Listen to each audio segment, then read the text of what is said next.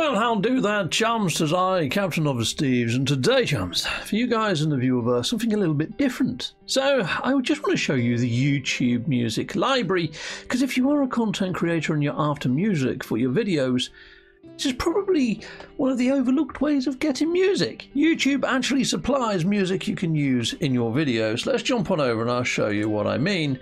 So, when you're inside of the YouTube Studio app, um, on laptop and PC, you can click this bottom link at the bottom here and go straight into this YouTube music library. Now, down the side of the screen here, you've got these little YouTube logos, which is, means that the license is fine. Let me just take myself off the screen just for a moment. Boom. So these icons down here, you see here, YouTube Audio Library, you can use this track in any of your videos, including videos that you monetize. No attribution is required. Now there are some others where you will see um, if I can't sort it by license type. But anyway, there are ones that say CC, which is like copyright, and you've got to put a little bit of blurb in there, but it gives you the blurb that you've got to use. But I kind of avoid using those ones just in case. You never know. Anyway, let's uh, let's just take out that view count because I'm not live. There we are. Boom. Anyhow, so I'm looking for some music for Ivy today.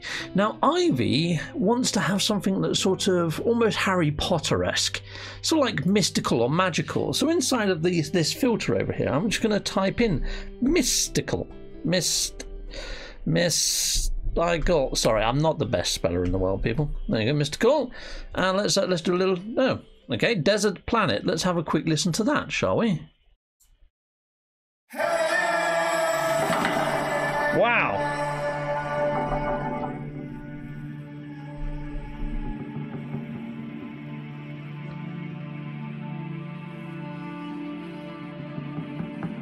Well, that's quite cool. It's a bit more Arabian Nights, though, isn't it?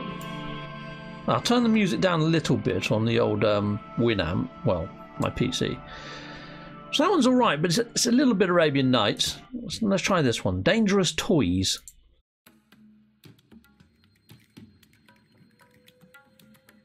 Hmm. That one sounds a little bit Arabian Nighty as well, doesn't it? Okay, let's try Journey to the Past.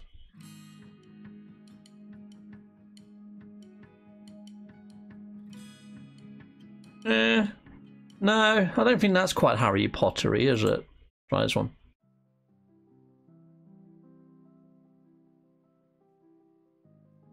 That one's quite nice.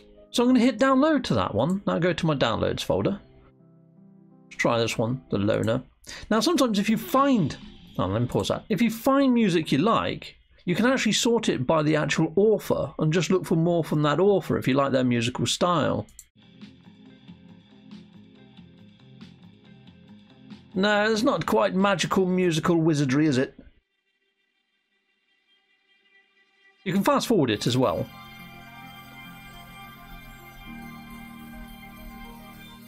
No, bit spacey.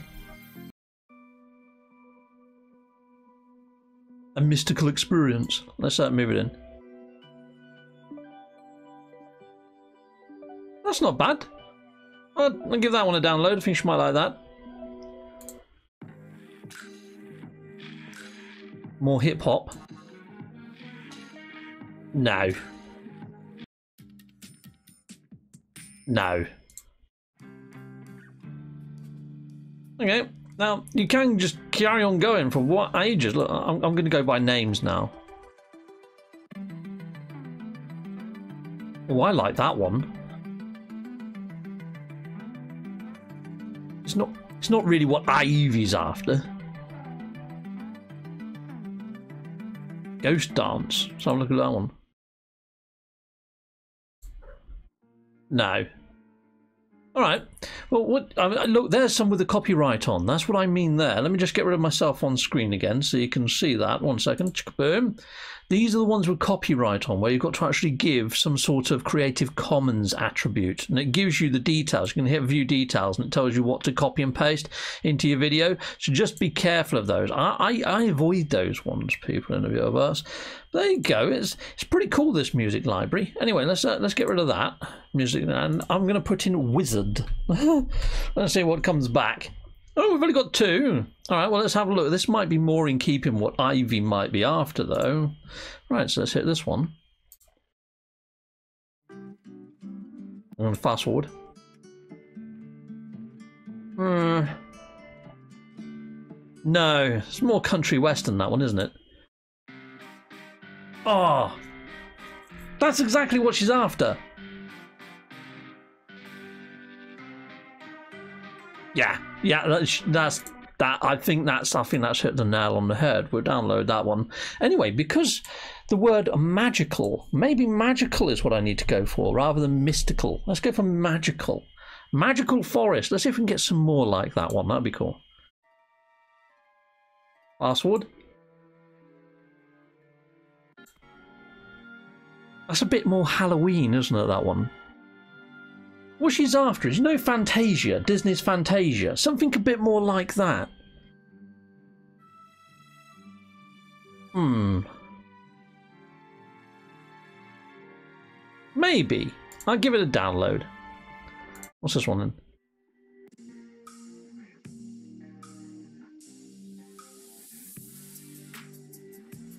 Don't think so. Fast forward.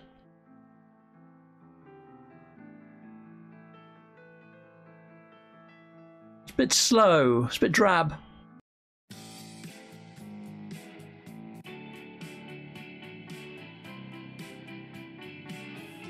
That could work in certain situations. I get that one. Waltz for you?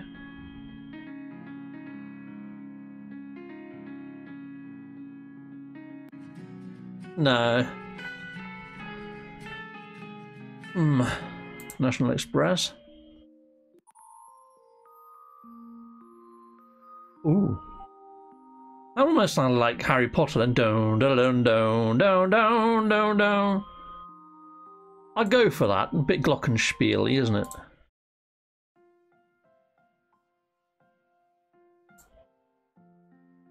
Bit too slow, that one. Christmas Homecoming. It's going to be too Christmassy, isn't it? Magical Gravity. Let's try that one. It's spacey. I figured it might be from the name. You can get a gist of what it might be from the name, can't you? Nemesis.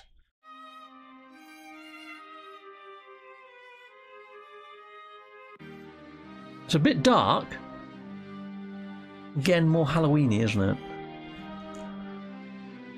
Or is it? I don't know. I'll give it a go.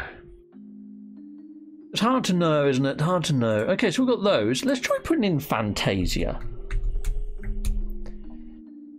Fantasia. Let's see that. Oh, there's something here. Oh, it's one of these copyright ones. No, mate. You, just because I no. All right, okay. Well, we've got quite a lot going on there. So I think I've got a few for Ivy there. I think I've got some pretty good ones there. But I just wanted to share this with you people that, you know, all this music is for free and it's it's sanctioned by YouTube. Now, what you can't do though is go and upload your video straight onto TikTok with YouTube Music stapled into it. Okay, but there you go. It's pretty darn freaking cool if you're a YouTube content creator and you're after free music. Use the YouTube audio library, and like I say, you can find it from your studio. It's just a bottom option over here, which is pretty darn freaking lovely, isn't it? I guess. Anyway, I'm going to go off and I'm going to be looking at some of my comments now and, you know, hitting them up and having a quick read of them, like I do pretty much I do that about three times a day, roughly. But yes, I've also got to change out some of my members. I've got some new members to my channel Gumbo Willie, Salutamondo, and Sky Masters, Salutamondo. Got to update my end cards. There's probably a few others out there, people. But thank you very much for supporting my YouTube channel through membership. It's very kind of you, people inside the viewerverse, I guess it is. Anyways, um, yeah, I think I'm going to be ending off now, people. Don't think I've got much else to say to you. Oh, I have actually. The expedition is due to come to an end very soon, people in the viewerverse, and when that does happen, I'm wondering what's happening next, because we know there's a three part arc for No Man's Sky coming out, and I'm wondering when part three is going to drop, because we're already two parts down.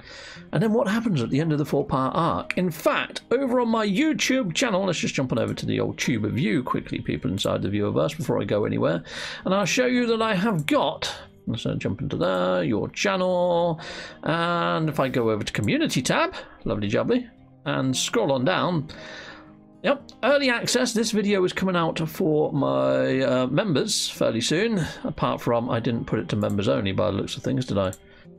Holy fudge. Okay, well that's that's not good. Let's just, just cut that out of there. That should be for members only, that post. Delete! And uh, I'm going to repost that one. So if I go back into my communities tab, slap that into there. I would have left it as public. I want to put that to end of access. Yes. Access to unlisted videos. There you go. Boom. There you go, that's for my members. Lovely jubbly. Now it says members only, like it should. That was my fluff up. The joys of being a content creator. Okay, let's scroll on down. So we've got some polls. What do you think will happen at the end of the four-part arc in No Man's Sky? Or add a comment if you don't see one that you like. And right now, Hello Games announces their new IP or game is ringing out with 34%. I'm kind of hoping it's a little bit of all of that. yeah, but anyway, there's 16 people that sounded off. There's 17 likes on there. Thank you very much, people. And we've got another poll then. When do you think the next expedition part three of the four-part arc would be out for No Man's Sky? When do you think it would drop? And right now, winning that poll is mid to late August, prior to Starfield. 38% of people say that. There are some people that are saying 30% of people are saying the last week of July or the first week of August. Hmm. I think it's probably going to be around then. I think it's going to be around then. We just got a mightily big update on console on PlayStation 5. It was about 6 or 8 gig or something crazy like that. 6 gig, I think it was. But I'm wondering whether Hello Games have already hidden a lot of the stuff the next expedition inside of that patch because it's quite big for what it actually delivers into game. So I'm wondering whether they're trying to avoid that whole staggered situation that they had before, where you know some people were running the expedition a good like week before other people were. So I think they want to try and stop that from happening. Would be my thoughts. So that's that's pretty much where we are with that. I've put out a story about Starfield. The the main story may take only 30 to 40 hours to complete. But that's not including all the side quests, is it? No, it's not. Heck, no, it's not. And uh, from Todd Howard's interview. Apparently, there's a lot of side quests, a lot of Easter eggs, and then there's probably going to be DLC packages and all sorts of other things in the wings. I've heard that they're supporting this for another five years, and then there's all the mods that might come to PC if you're on PC. But you know, even though like Skyrim mods and things have been available on console in the past, still doing some testing on my uh, PC to try and get the best I can out of. Um, Oh, Sky, uh, no Man's Sky on my PC. I think I'm getting there. I just need to turn off the motion blurring now. I've had a few comments, a few other suggestions to tweak my graphic settings a little more, so I might do one more video to see if I can get that a little bit closer to perfect. The funny thing is, when I was running it with freaking mods on, when I had that Bonza Bonanza mod pack on it, it was actually running smoother than No Man's Sky Standard, which I just can't get my head around. Go watch my modded gameplay of No Man's Sky and see what you think. Look, I put a link up there to my modded No Man's Sky playlist, and that's with some super mods on. And I'm seeing the same sort of frame skips as I'm seeing without the mods on, which is highly irregular and unusual. Maybe I've had some Windows updates that have severely scuppered the hardware of my machine, I don't know, but I have taken everything out of startup menu. Look, I've only got those two, I've only got little things running in the background. That's my printer and that's my USB. I've took everything out of startup, and in my task manager I hardly have anything that's actually running in the background, apart from the stuff that came on the actual laptop. I mean, I don't know what half this freaking stuff is, but apparently it's for my laptop. So I when I have looked up some of these things, it's to do with either the graphics card or the eye detection module that's built into this device. So it, it dims the screen when you're not looking at it, and then it brightens it and stuff when you when you are looking at it, and things like that. Eye tracking, the Tobii IX.